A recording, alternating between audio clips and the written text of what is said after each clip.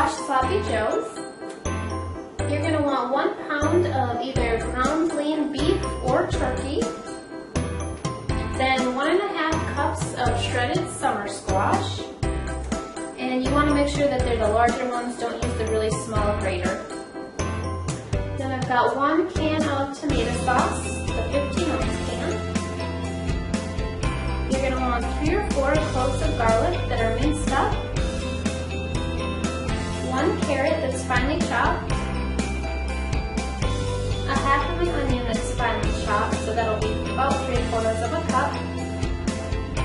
Got one tablespoon of chili powder,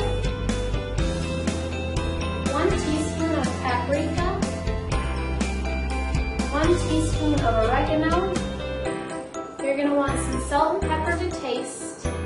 And then I recommend adding a little bit of cheddar cheese at the end, but that's just an optional thing that you can add. So You're going to want to turn your skillet on the medium-high heat. And then all you're going to do is you're just going to want to brown um, either whether you've got the ground beef or the turkey.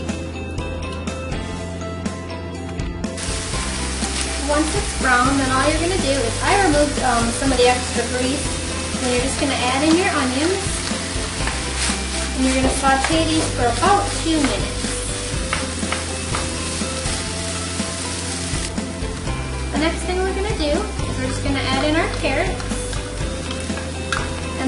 saute these for about two more minutes. Alright, and as you can see, the onions are starting to get a little bit translucent. Your carrots won't be quite soft yet.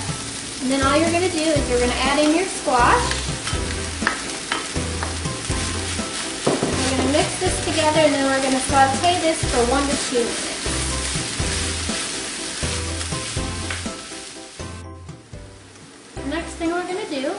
Just going to add in our tomato sauce.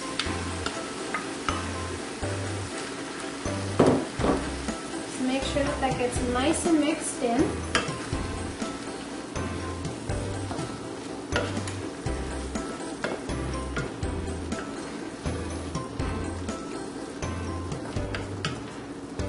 Then we're going to add in all of our seasonings. So our chili powder, paprika,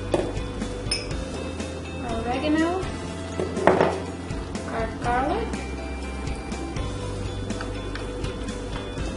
and then you're going to want to do a little salt and pepper to taste.